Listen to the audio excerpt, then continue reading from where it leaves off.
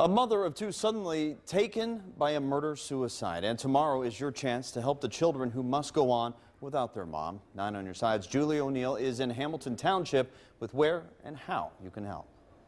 Where it all happens tomorrow from 9 to 2, the Maineville Professional Building and Studios is where they will hold Operation Help the Fletcher Garrett Kids. They hope you will come and find lots of things that you would really like to have in order to help this family in need.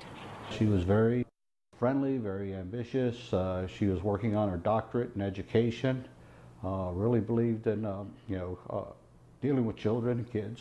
So. so, Errol Fletcher will tell you it's no wonder so many want to help his daughter's kids.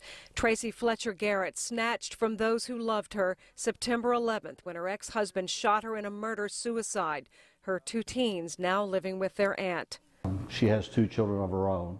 And so right now they're doubling up in bedrooms and sleeping on the couches and whatnot. April Sauvie is holding a fundraiser to help make life a little more livable for the kids, organizing 28 vendors, over 60 silent auction items, and baked goods by some 20 area bakers, and something extra special. We're going to have something up on the wall where you can leave a note letting the kids know how, you know, what you're thinking, your good wishes, your prayers.